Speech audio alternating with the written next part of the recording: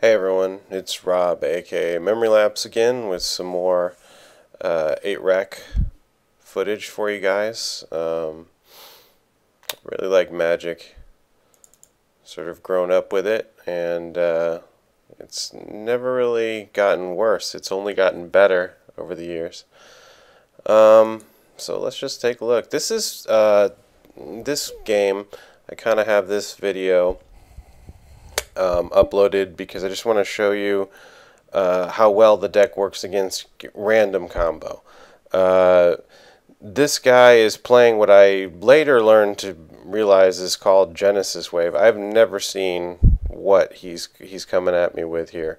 So I make some awful calls here. Um, so I guess that's kind of one of the things that um, you know rogue, de rogue decks uh, have an have an advantage for here um, which is that you know people don't know what to expect. So you know it kind of invites misplays. And I make one like I see oh he's got a Utopia Sprawl here, so I, I discard the Utopia Sprawl. I should have discarded the Genesis Wave. That's his main combo piece, but I guess I didn't realize it right away.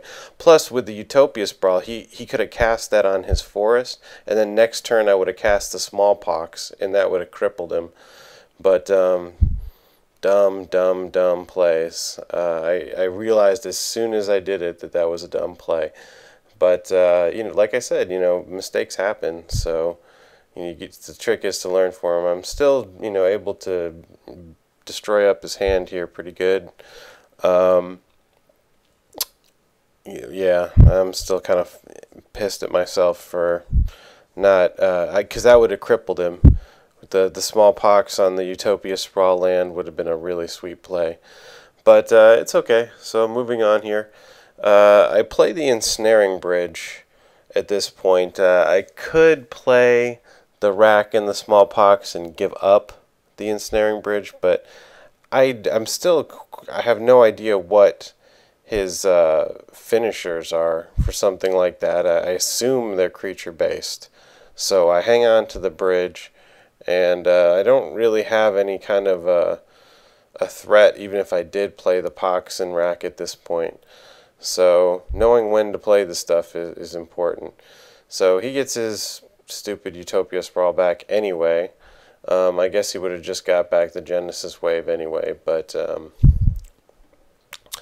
yeah, so it wasn't as dumb as it could have been maybe, but uh, I guess I should have either pitched the Genesis Wave or the Witness, one or the other. So, uh, again, the smallpox is not really um, enough here. You know, I, this is what is mind rack in other versions of my deck. So I, I kind of like to so it sometimes compare the cards one to one. Like I, I'll think, well, if, if if this card was a mind rack, would it have been better for me? Mm, it might have been against this deck. So this would be like one case where it probably would have been better to have the mind rack, but you know, there's been a lot of other cases where I prefer the smallpox. Ugh. So now I got two smallpox. It's pretty useless. Um, I have to cast one. What else am I going to do here? You know, he's got to start taking some rack damage. I need to empty my hand. Um, but I know he's got the Genesis wave, and he's got this Vernal Bloom, uh, which is essentially um, double his mana. Um, so I kind of see where he's going with it now. He, he gets a huge pile of mana real quick, and he casts the Genesis Wave, and then, you know, probably combos out off of that, depending on how big of a wave he can get. Um, oh, so he had to get rid of early harvest, thank goodness. Uh, that's the last thing we need is a gigantic, huge wet Genesis Wave. Um, that would have ended it for me right there. Um, but I force him to do a, a regular Genesis wave. It's still pretty big. He's going to be able to do uh, four, like five, six, nine. Oh, God, it's huge. It's a six point wave. So he'll get basically six free cards. Um, now, the one kind of good thing, at least, is they, they don't go into his damn hand. Um, he just has to play them, but he doesn't get the greatest rip, but he does get that damn eternal witness, which I did not want to see, because the witness will put the Genesis wave back in his hand, and he'll just be more, and the next one will definitely kill me. So what I need is either a land or a discard spell here. If I don't get one or the other, um, I'm Dunsky. He'll combo out the next turn easily. Um, but the I have good odds at getting one or the other. Um, you know, lands obviously you got the best odds for that. Again, Raven's Crime is such a workhorse. Just love that card. Um, so you so if I either get a land here or a, or a discard, I'm good. Um, and my odds are good. That's pretty much all the cards in my deck are either land or discard. So anything other than um, another finisher or ensnaring bridge, and I'm good. So I pick up the Inquisition, which thank goodness Genesis Wave is casting cost 3 CCs because now he's in big trouble. Now he's top decking. He can't do anything with his little critters. Um, he's got a million land and nothing to do with it. So he starts to try and protect himself with uh, by holding cards to to get rid of. Uh, but that's not going to help him. Not with my thoughts. You see, it's just never ending. This is hand control, guys. So even with some awful plays on my part, you know, some bonehead moves, he's done. He even if he waves here, I don't think he can win. He'd have to wave and kill me right in the same turn. Um, mm, I'm sure he'll just scoop at this point. Uh, so, bad plays aside, the deck destroys combo.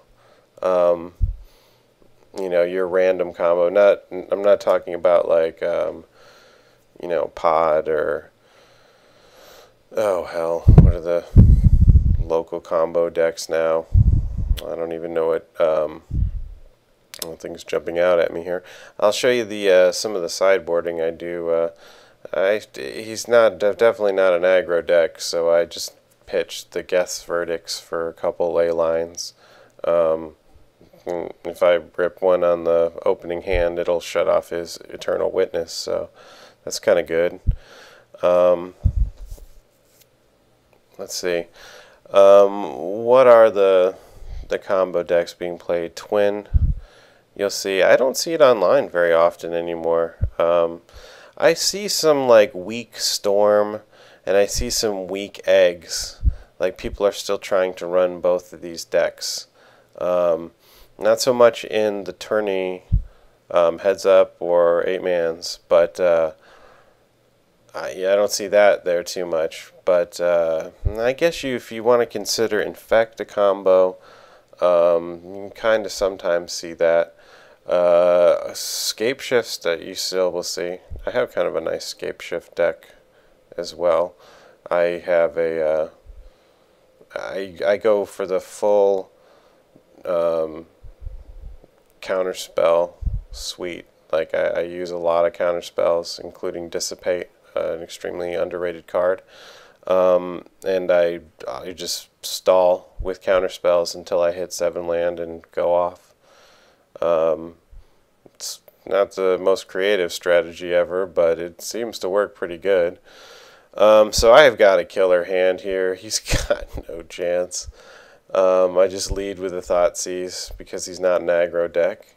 Uh, there's only three copies of Thoughtseize in this deck. Um, maybe people might think that Thoughtseize would be an auto include four of in a discard deck, but it's not great. Um, its downside is significant, and it is not great against uh, you know your red deck win. It's kind of a dead card. Like I mean, you thought Thoughtseize there a lightning bolt. Well, you just spent one mana to save yourself one damage. It's not really super productive.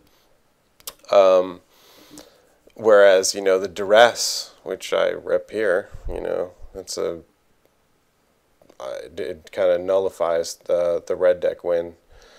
Uh, you know, you just start. They can't. They they need a critical. Red deck win needs a critical amount of uh, of of spells to to threaten you. Because once you get past like turn four or five, they're empty. Like if if they if they don't kill you, then you know their their odds start going way down. So um, you see, I just summarily just took apart his hand. Um, he casts his stupid snakes.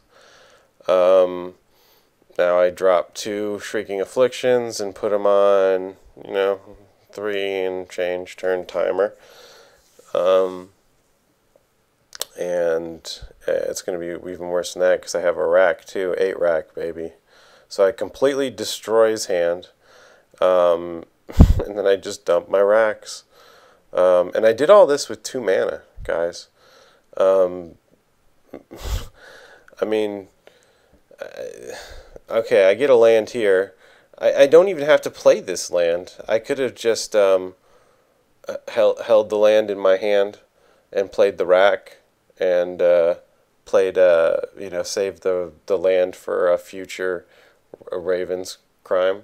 But uh, whatever. I, mean, I you do. I could. I won this match, the second game too, with basically no relevant subs um, from the sideboard, um, with two mana. So it's not. You know, blue's great against combo, but blue needs mana, and uh, this is a different approach to anti-combo. So if you if you if you have a combo heavy meta, um, you know, consider seriously consider something like this. Um, you know, different metas may call for different splashes and different builds, but uh, yeah, for your combo heavy meta, highly recommend uh, 8 rack. So go ahead, thumbs up these videos, uh, post your comments, sub if you like what I'm doing here and you want to see more. Um, thanks for watching, guys. Appreciate it.